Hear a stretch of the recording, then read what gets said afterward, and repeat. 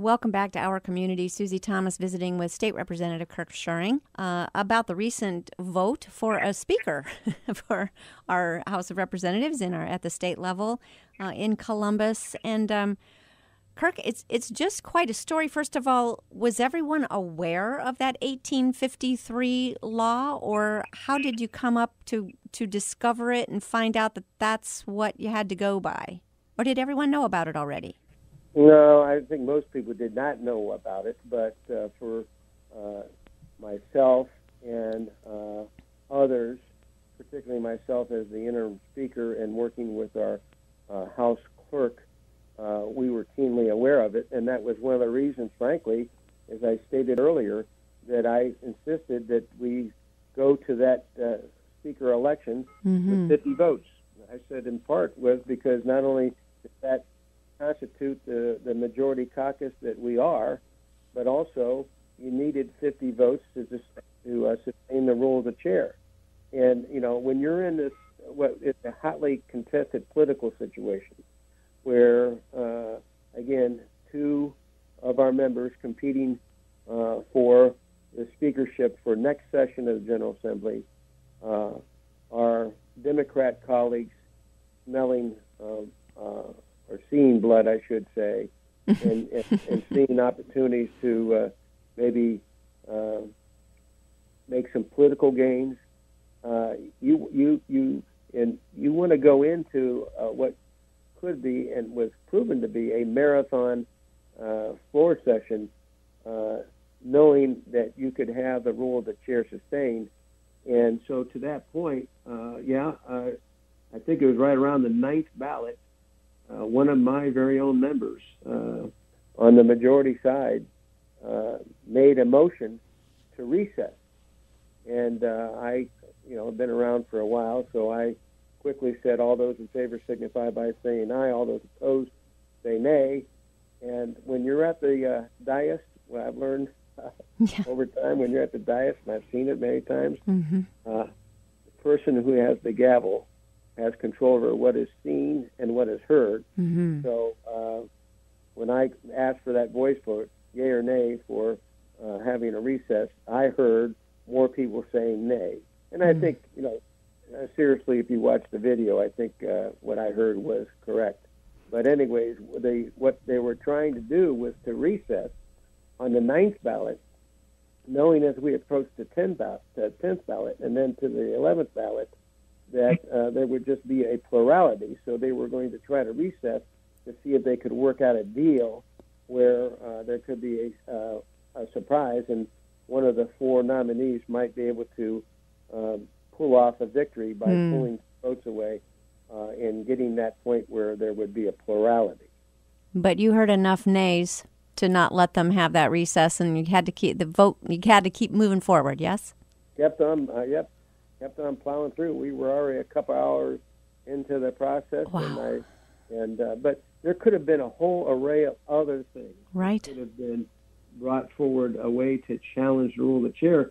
And at that point in time, I did not have 50 votes to sustain the rule of the chair. Right. Uh, so, you know, it could have been, and you know, th- this kind of stuff, frankly, is the kind of stuff that we have been seeing so much in Washington for so long, and we've been able to avoid it in in Columbus. I still think we'll be uh, able to stay away from the gridlock that we've been seeing in Washington D.C.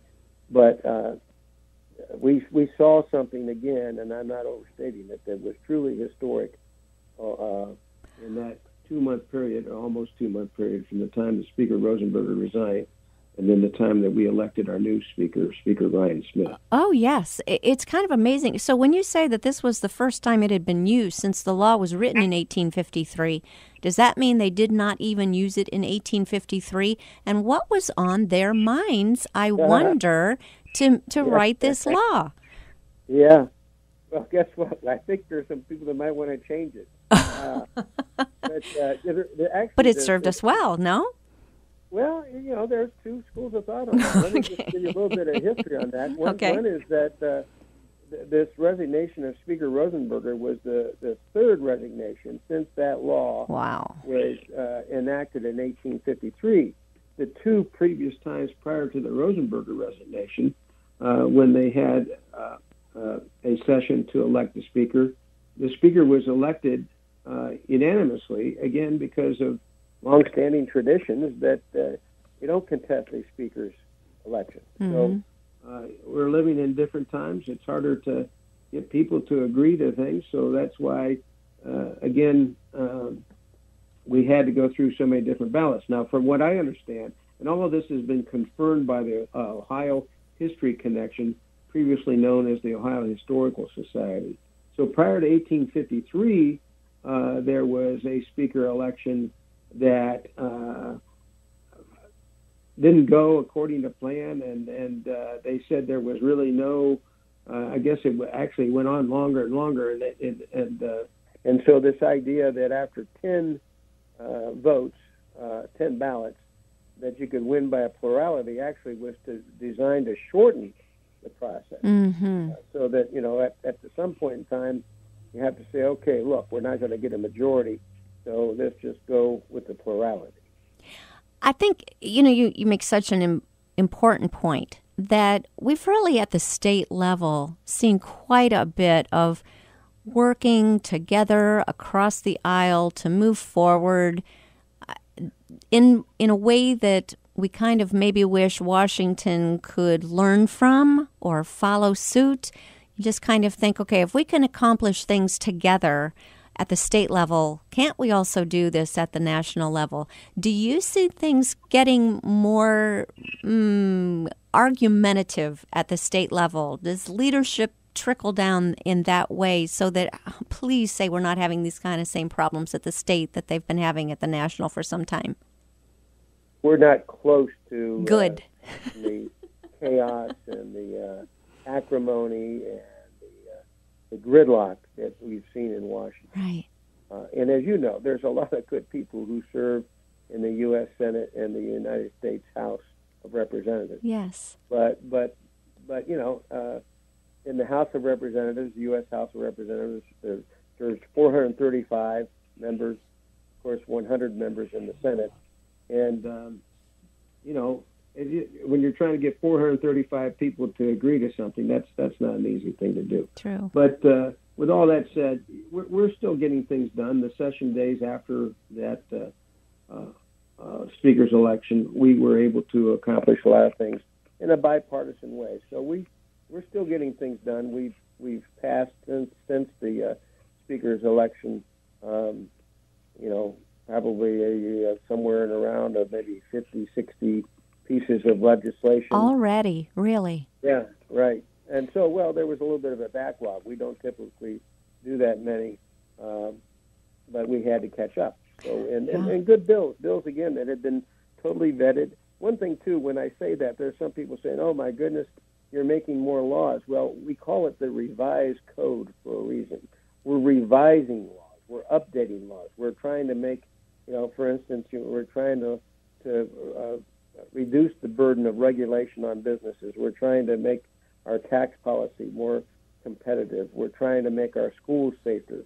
Uh, we're trying to, you know, uh, help people. For instance, we a while back passed a, a bill in the House that uh, dealt with payday lending and, and trying to make sure that folks who need, you know, quick uh, emergency dollars who are living paycheck to paycheck are not caught in a debt trap. So yes. you know, uh, uh, so those are things we can come together on a bipartisan way, and so we, we still do that. Um, it's just uh, we, we we broke with uh, tradition during that that uh, two month period, but in part because there was a vacuum there. Uh, again, having a speaker's resignation. Since 1853, it's only happened three times, so it doesn't go. happen often. That's right. Um, you mentioned a video. Can we see all this taking place? Because this is historic. Yes, uh, all you have to do is get on the uh, OhioHouse.gov uh, website. That's one place. It's archived. We, in fact, we've been archiving our our uh, floor sessions since 1996, so you can really find a lot of interesting stuff if you get on that website. The other thing, the Ohio channel uh, also uh, has it archived, and you can uh, get on the Ohio channel and, and find it there. Very, it very on cool. June, on June 6th. So that's if you just look for the session. Click on June 6th because that was the vote day, yes? Yes, correct. 10 times, 10, and they went to ready. 11th. Make sure you make up a lot of popcorn. Yes, set aside plenty of viewing time. Yeah. or, or, if you're suffering from insomnia, you know, just put it on and and it won't take you long. You'll fall asleep because it went on for hours. Oh my goodness. What are you working on now? What's in the hopper? Well, I'm always working on things that helps my my community. Uh, you know, things that uh, uh, will help us as we look to secure the 2020 NFL draft. Uh, some things that deal with uh, those folks who are resisting arrest. A local law enforcement officer got me involved with that, uh, and uh, you know, um, you know, school safety. Those are things that uh, are always important now more than ever with some of the things that have happened nationally in regard uh, to the safety of our, our students. Uh, I work very closely with our um uh, education uh, service center superintendent Joe Chaddock and our our sheriff uh, George Maier, uh, working with Mayor Catazaro-Perry on some things that she wants to do with the uh, former Massillon Affinity Hospital and Yes. Mayor Bernabei with downtown redevelopment districts and innovation districts and some ideas we have for uh, what we now call Market Square, what we hope to someday call Centennial Plaza, um, which would be a complement to uh, what's going on at the Pro Football Hall of Fame Village. Yes. So, yeah, a lot of different things, a lot of constituent work. It just seems like uh, there's so many things nationally that become we take it back again to all politics is local, especially when we're looking at school safety and and thought of that as a national issue. But boy, this year it brought it home, did it not? And um, yes, suddenly uh, those politics are local as well.